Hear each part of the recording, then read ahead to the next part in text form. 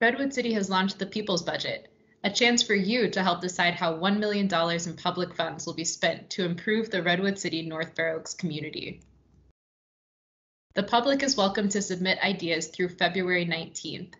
Anyone is invited to participate, regardless of age, immigration status, or where you live.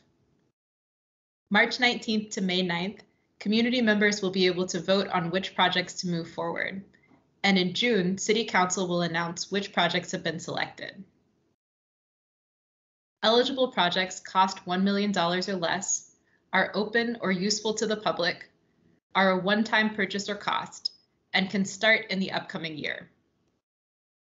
Examples from other cities of projects include basic needs resources and services, street and pothole repair, conflict resolution training, and hiking or walking trails.